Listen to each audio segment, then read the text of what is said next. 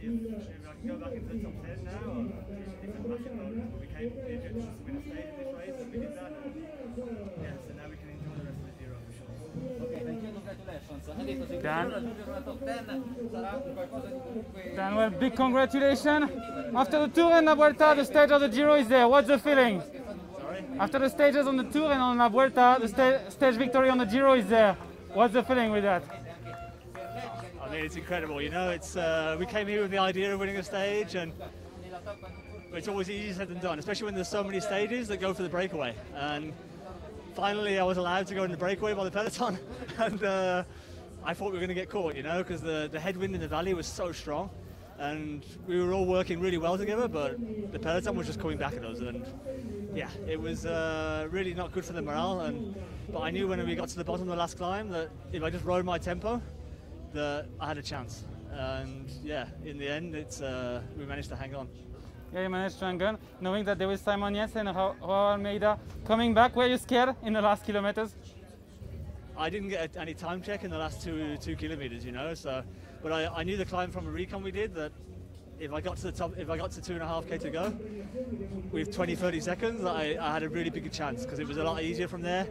And I also knew that if I, the guys behind, they would be attacking full gas in the steepest section, and then that really hurts the legs afterwards. So I rode my tempo on the steep section, and then when it flattened off, I really went really went full gas, and uh, I mean that tactic really paid off in the end. And uh, yeah, I just I just can't believe I held on.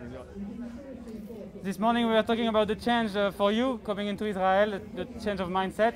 Seems really to pay to pay out, no? I'm just I'm just happy, you know. We, we have such a great team atmosphere. We're relaxed and we raced well together. And the guys committed 100% to put me in the breakaway this morning. They really believed in me.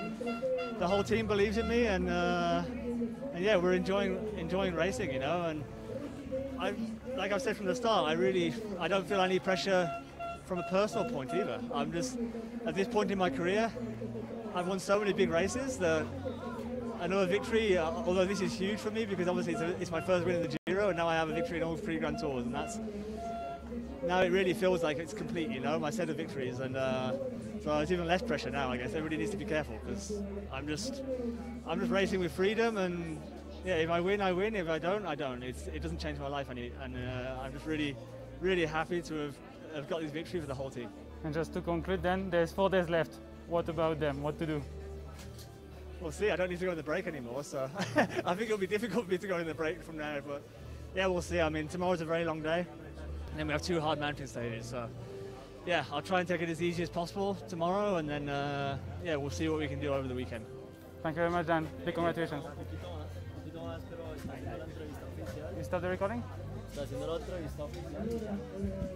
You start it back?